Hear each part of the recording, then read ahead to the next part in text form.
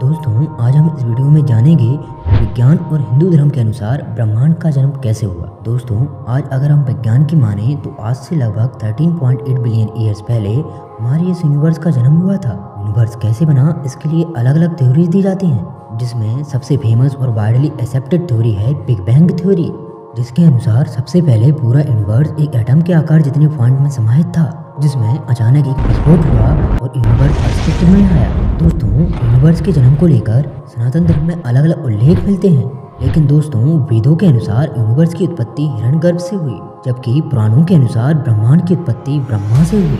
दोस्तों, हिंदू धर्म के सबसे पुराने और प्रमुख ग्रंथ ऋग्वेदा के हिरण्यगर्भ सूक्त के अनुसार ब्रह्मांड की उत्पत्ति से पहले केवल और केवल अंधेरा था।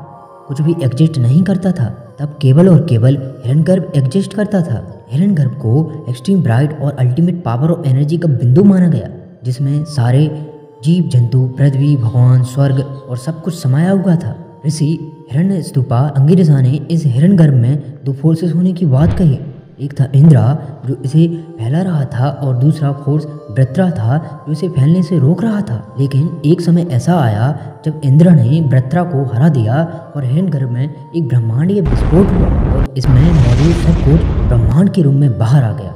और दोस्तों, आज मॉडर्न साइंस में जिसे हम डार्क एनर्जी कह रहे हैं, वो इंद्रा है, और ग्रेविटी वृत्रा दोस्तों हिरण गर्भ से ब्रह्मांड बनने की प्रक्रिया एक साइक्लिक प्रोसेस है। इसलिए एक ऐसा समय आएगा जब संपूर्ण ब्रह्मांड वापस हिरण गर्भ में समा जाएगा। और बिल्कुल आज साइंटिस्ट भी ऐसा ही कह रहे हैं कि एक ऐसा समय आएगा जब ग्रेविटेशनल पावर डार्क एनर्जी की पावर जो कि यूनिवर्स के एक्सपेंशन का कारण मानी जाती है, को ओवरकम कर देगी और वापस से यूनिवर्स एक सिंगुलैरिटी में बदल जाएगा, जिसे बिग कहा जाएगा। और बिग को ही धर्मों में प्रलय कहा जाएगा। दोस्तों, आज जाकर साइंटिस्ट बिग बैंग की बात कह रहे हैं, लेकिन हमारे वेदों में ये बात हज़ारों सालों पहले कह दी गई थी। दोस्तों यूनिवर्स की उत्पत्ति को लेकर बिग बैंग थ्योरी और वेद एक जैसा ही कह रहे हैं कि यूनिवर्स का क्रिएशन एक पॉइंट से हुआ है। दोस्तों, लोग धर्म और साइंस को एक दूसरे का विरोधी मानते हैं, लेकिन दोस्तों, ऐसा बिल्कुल नहीं है। धर्म और साइंस दोनों अपनी अपनी जगह सही हैं। साइंस का बताने का तरीका अलग और धर्म का बताने का तरीका अलग है। आप किसे सही मानते हैं कमेंट करके ज़रूर बताएँ।